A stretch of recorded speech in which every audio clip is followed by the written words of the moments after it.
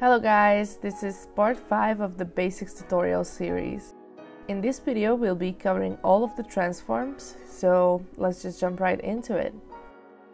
Since the last time a lot of things have changed, we've added quite a lot of new features, so for now I'll just extend the series with the new features and I don't know, maybe in the future we'll recreate the basic series in its entirety, but for now let's just stick with this. So the first big thing is the precision tools.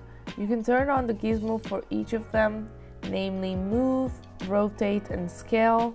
There's also a third one which controls all of the three at the same time.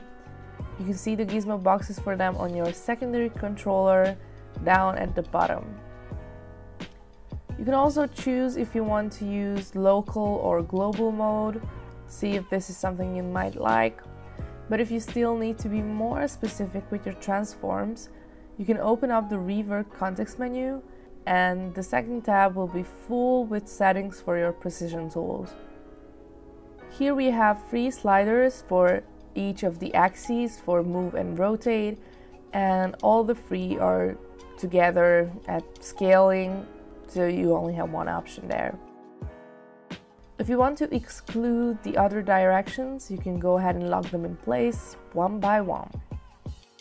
If you want to, you can reset each value, so for example for move, it's going to snap back to the origin. Now, if we're at snapping, on the bottom of each tab, you can see values for snapping. Go on and see if this is something you might need the strength is different for each of the tools. With the eyedropper, you can copy the transform values onto other objects if you need them to be at the same place or if you need them to be the same size, face the same direction. And the last box is for numeric input, which lets you set the values numerically.